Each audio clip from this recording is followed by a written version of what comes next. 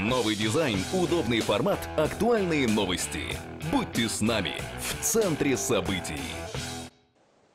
Улучшение жилищных условий. Сертификаты на общую сумму более 2 миллионов рублей вручили ветеранам уголовно-исполнительной системы. Право на них имеют сотрудники со стажем не менее 10 лет, которые встали на учет до 1 марта 2005 года. Сумма сертификата может быть разной. Она зависит от жилой площади, в которой нуждается человек, помноженной на 35 тысяч рублей, установленной законом стоимости одного квадратного метра. Минимальная социальная норма – 18 квадратных метров на человека.